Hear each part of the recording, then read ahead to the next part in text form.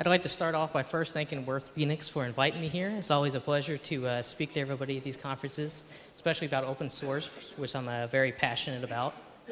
I'm here to speak about cacti, but not so much cacti, the product, the core, but the evolution of cacti and how it's branched out from its base roots of just graphs. Um, uh, what is cacti? Cacti is basically a complete front end graphing tool for RRD tool. Uh, anything you can do in RRD tool, you can basically use cacti to create, whether it's uh, line graphs, area graphs, stacks, virtually anything.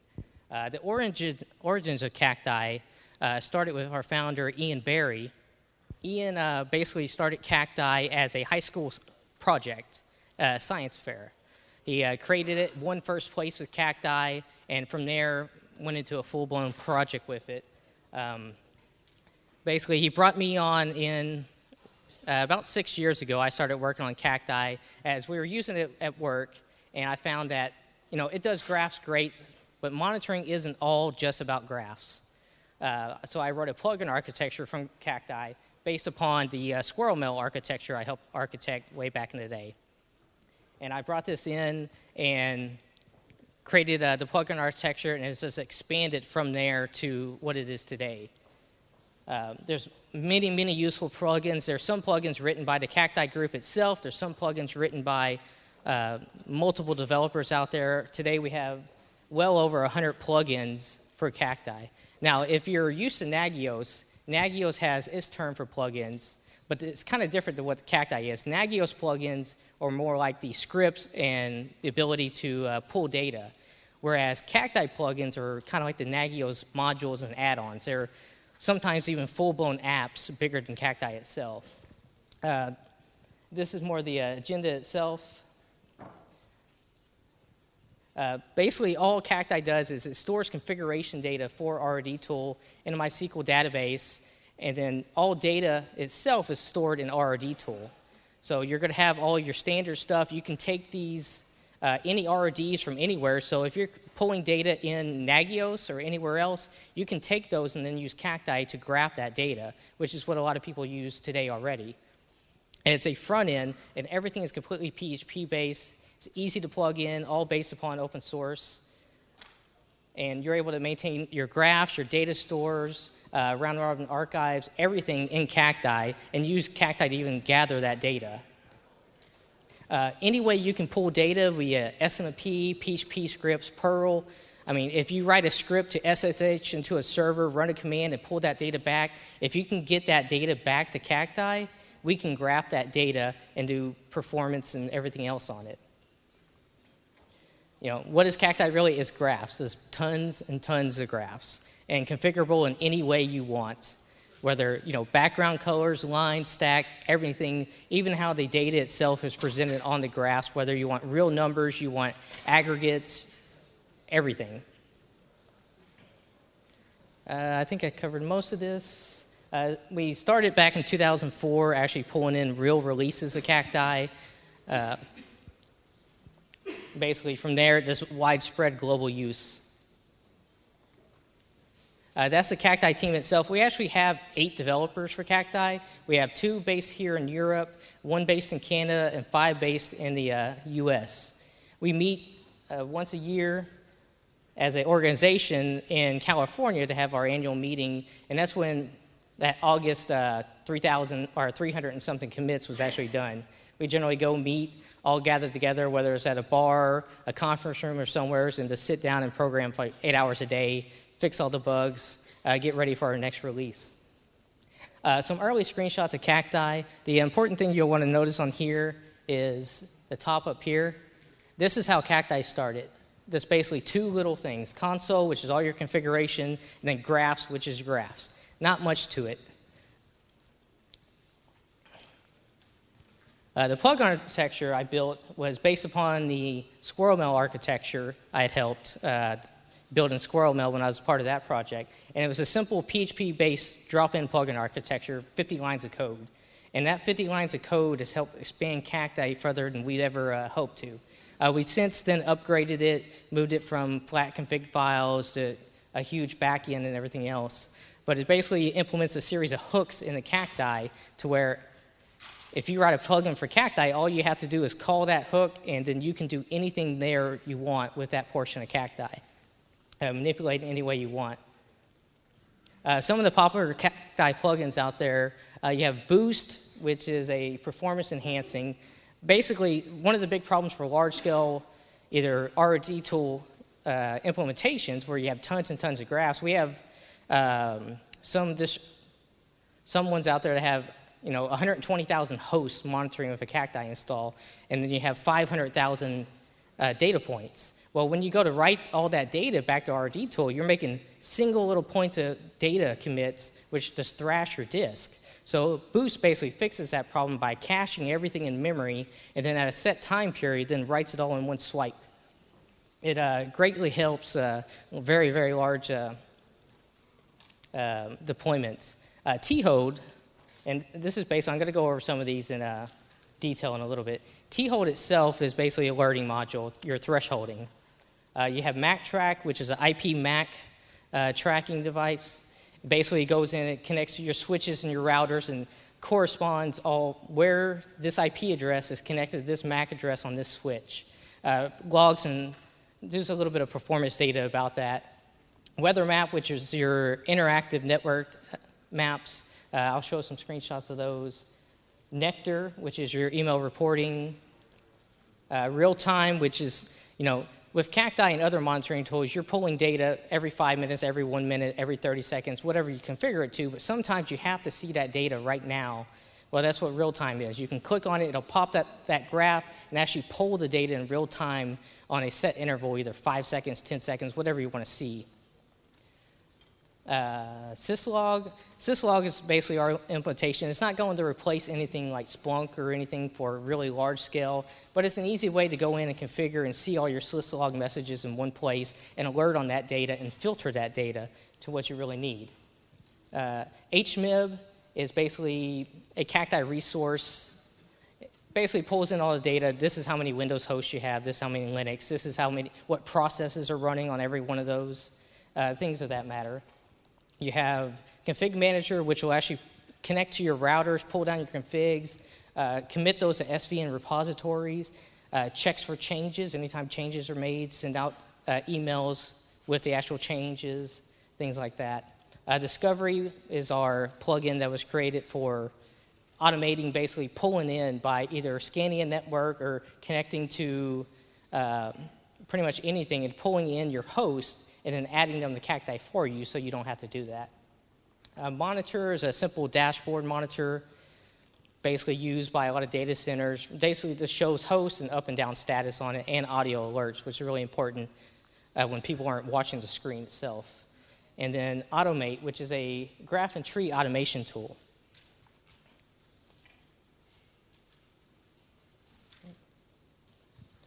Okay, so, so plugins by example. T-Hold itself is our alerting module.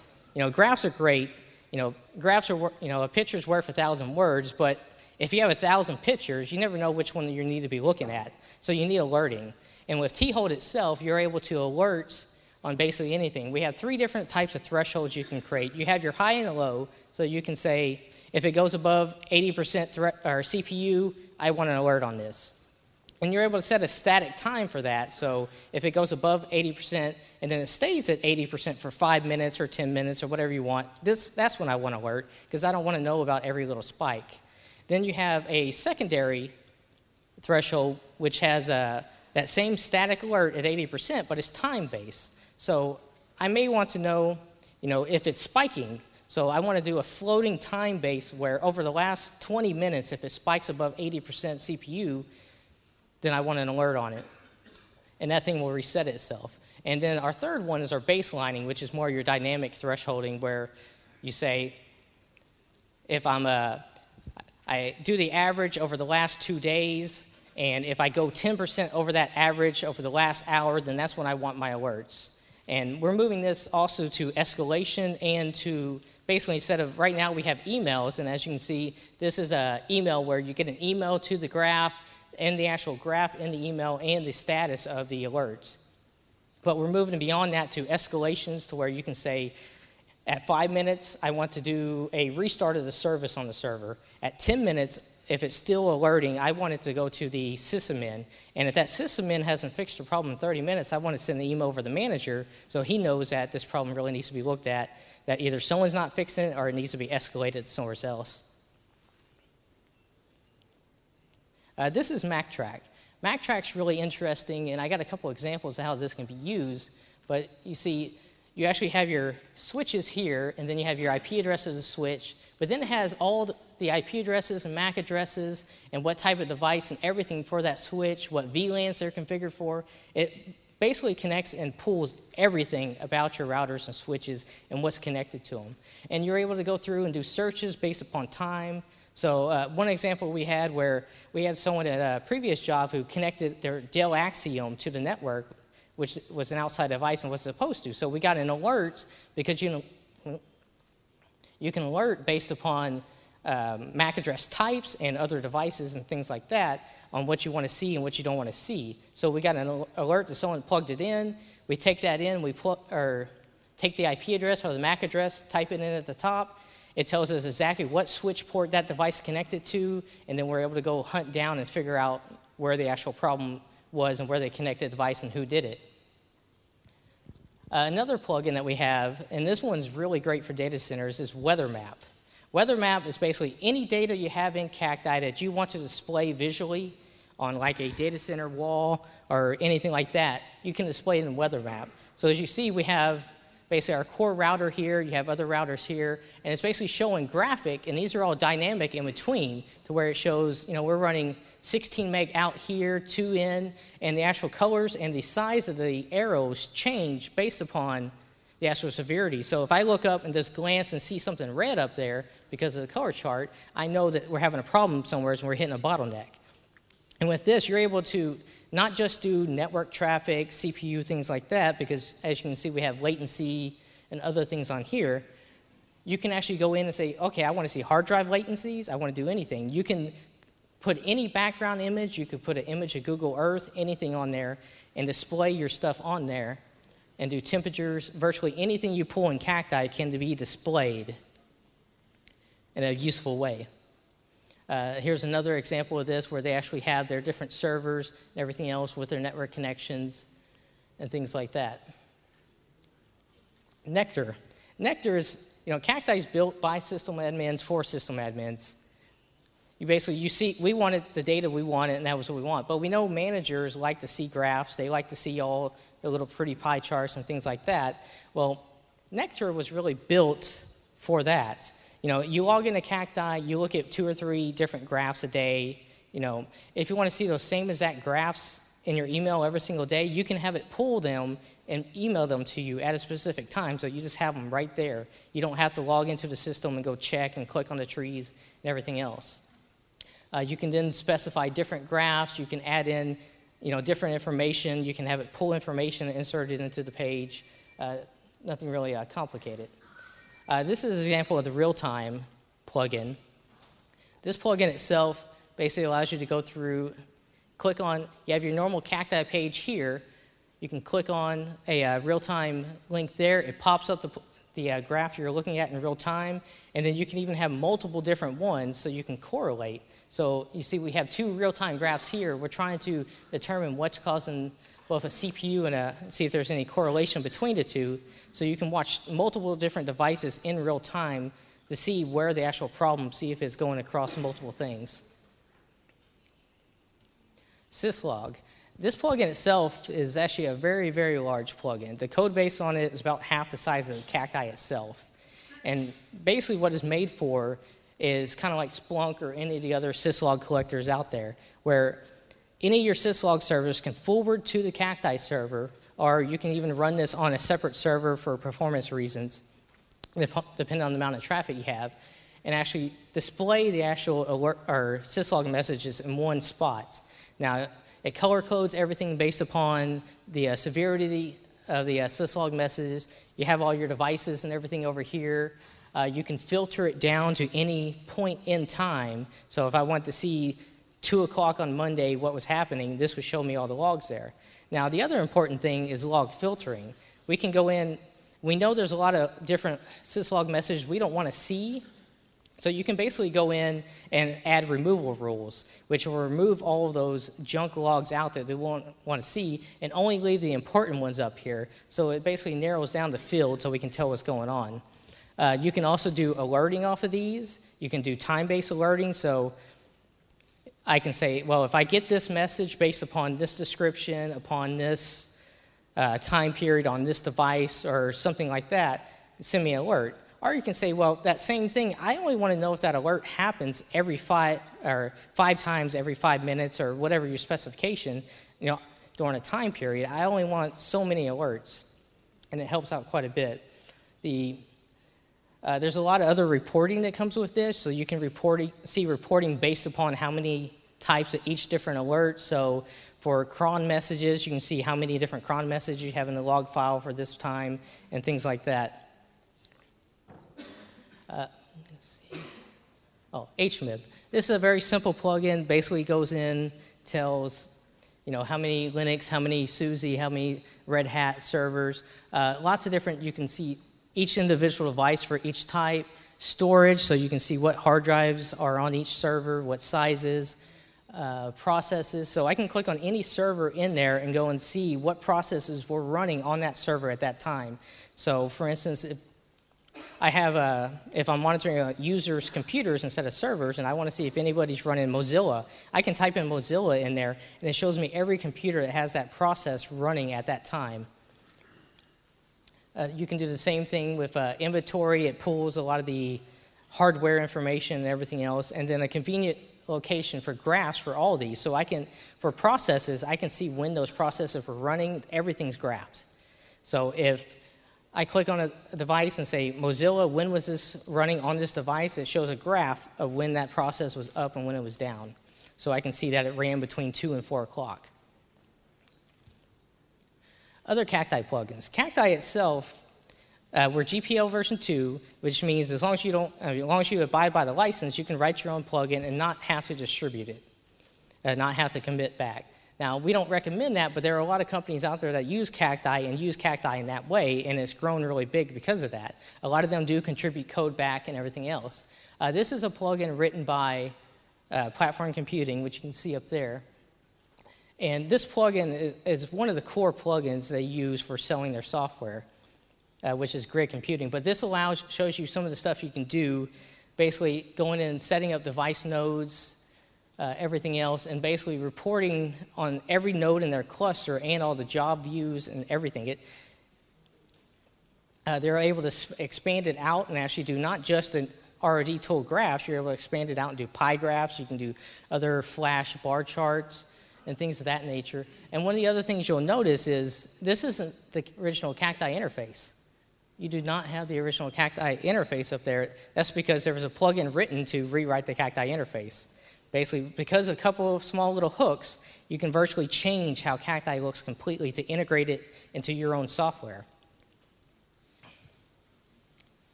Uh, the state of cacti. Cacti is alive and well. Uh, we currently just released 8.8. We're about to release 8.9 again.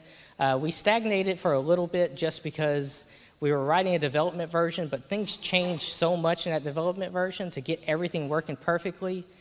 We had to uh, hold off on releases, but we started to backport a lot of those into our stable branch. So you're going to see a lot more frequent re- releases of Cacti.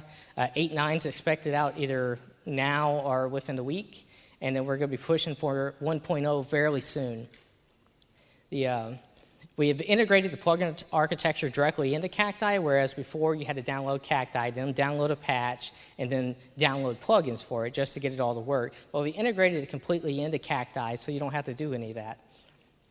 Uh, we started to phase in all the features into Cacti from the uh, 1.0 branch, which is going to give you a lot of stuff like we're working on distributed polling, we're working on uh, Holt-Winters forecasting, predict, the ability, the ability to go in and see not only this is what is uh, set at now based upon trending, this is where it's going to be in the future. And then the ability to alert on that. I don't want to know if I'm over CPU now. I want to know if I'm going over CPU or going to go over disk space. Uh, we're also looking for full RD uh, support for compute, uh, VDEF, X-Access, and just about everything else. Um, as I said before, we did over 200 commits at our meeting uh, last August. Add that into the rest of commits, we did over uh, almost 400. We are working on site support. So basically, right now the problem we have is you can create a graph tree, and in that graph tree is all your graphs. But you don't have the ability to go in and say, this is my Dallas site, this is my Europe site, this is my Italy site, whatever like that. So you don't have that support now to do that. And one of the other big things we're working on is internationalization.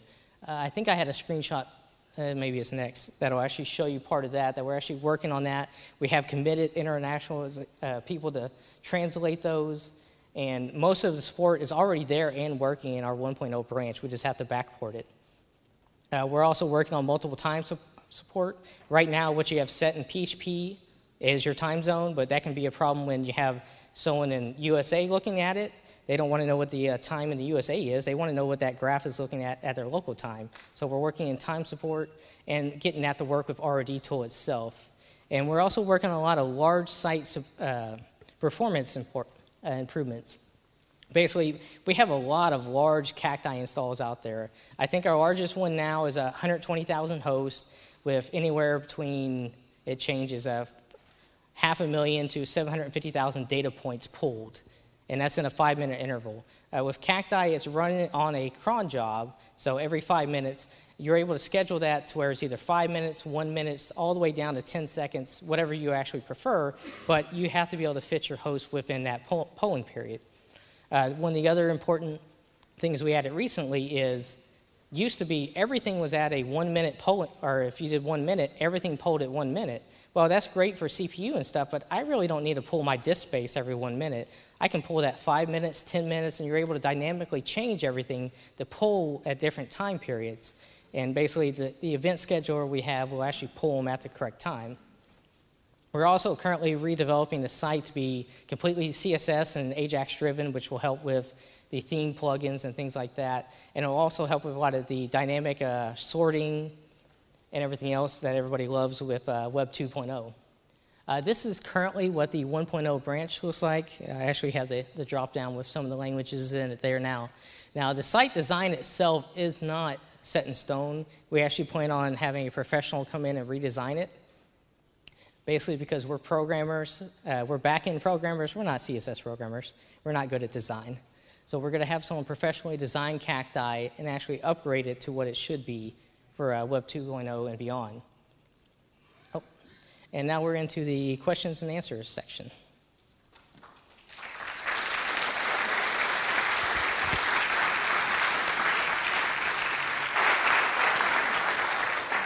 Thank you very much, Jimmy. Any questions from the audience? Yes, here.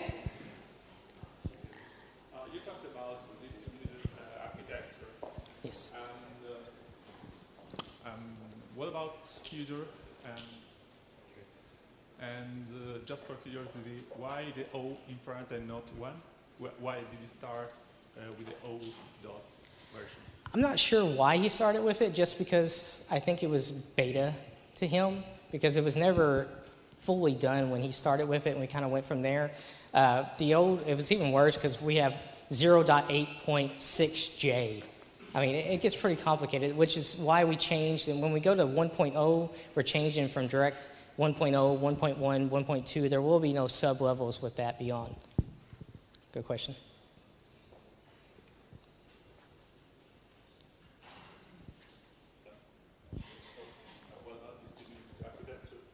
Will it be will it be implemented or distributed? Uh, yes, we actually have a few plugins that are working with a distributed architecture. They're not where, where we want them to be, so we haven't integrated them into the core code yet. But we are working on distributed architecture for Cacti itself because we want it to be more dynamic. Most of the stuff out there now still relies on a central Cacti server to forward the data to where the uh, MySQL database is. But we want something more dynamic that doesn't basically more like a floating master, I would say, where if the main server dies, everything else can keep working and keep pulling and delivering that data to where it needs to go. Hey, I, I, I got a question about the 64-bit counters. Okay. Uh, it, currently, at disk latest uh, Cacti version does not work well. Are you planning to do something about that? As far as 64-bit uh, network counters, it doesn't work well. Uh, I thought it was working fine with it. Uh, if you can forward me a query at my email address, it should be on the slide when you get to presentation. I'll gladly answer that. I don't have the answer right now. Okay, okay. Thank you. Uh, we also have a very vibrant forums and a website where questions are answered, you know, 24 hours a day. We have over, uh, I think, 50,000 users, a couple hundred thousand posts on there already. Okay, so thank you very much. If there aren't any further questions.